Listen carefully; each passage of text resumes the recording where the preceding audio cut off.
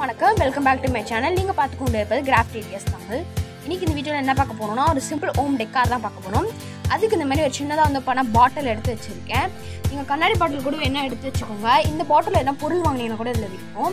இப்போ இதில் தான் நம்ம கிராஃப்ட் பண்ண போகிறோம் இப்போ இந்த கண்ணாடி பாட்டில் ஃபுல்லாக நான் நல்லா வாட்டர் யூஸ் பண்ணி வாஷ் பண்ணிடுவேன் இப்போ அந்த மாதிரி பாட்டில் எல்லாம் வாஷ் பண்ணிட்டதுக்கப்புறம் இப்படி தான் இருக்கும் உங்களுக்கு. எல்லாம் க்ளீனாக இருக்க பாருங்கள் பாட்டில் இந்த மாதிரி பாட்டில் எடுத்து வச்சுக்கலாம். அதுக்கப்புறம் பார்த்தீங்க அப்படின்னா இந்த மாதிரி கலர் கல் இருக்கும். இது வந்து மீன் தொட்டி வாங்கினீங்கன்னா அது இருக்குங்க. இப்போ அதை அடுத்து இந்த பாட்டில் ஃபுல்லாக நான் வந்து பணம் போட்டு வச்சுக்கிறேன்.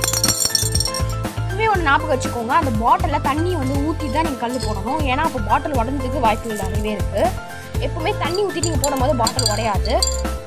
நீங்கள் மேலேருந்து ஃபோர்ஸாக போடும்போது பாட்டில் உடஞ்சி கூட உடஞ்சிரும். அதனால தண்ணி லீக்காகவும் வாய்ப்பு இருக்குது அதனால் தண்ணி லைட்டாக ஊற்றிட்டு நீங்கள் கல் ஒன்று ஒன்றா போட்டுக்கோங்க.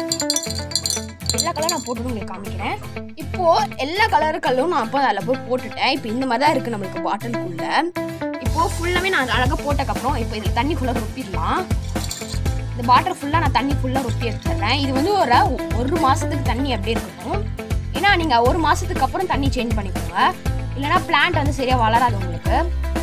இப்போ நல்லா தண்ணி ஃபுல்லாக அந்த மாதிரி பண்ணினதுக்கப்புறம் பாதி தண்ணி கீழே ஊற்றிடலாம் இன்னும் ரொம்ப சேர்க்க வேணாம். சரிங்களா? இப்போ கல் ஃபுல்லாக அதில் ஸ்ப்ரெட் பண்ணி விட்டுக்கலாம் இப்போ கல் ஃபுல்லாக ஸ்ப்ரெட் பண்ணதுக்கப்புறம் நம்ம மணி பிளான்ட் இருக்குல்ல அதில் ஒன்று ஒன்று வச்சுக்கலாம்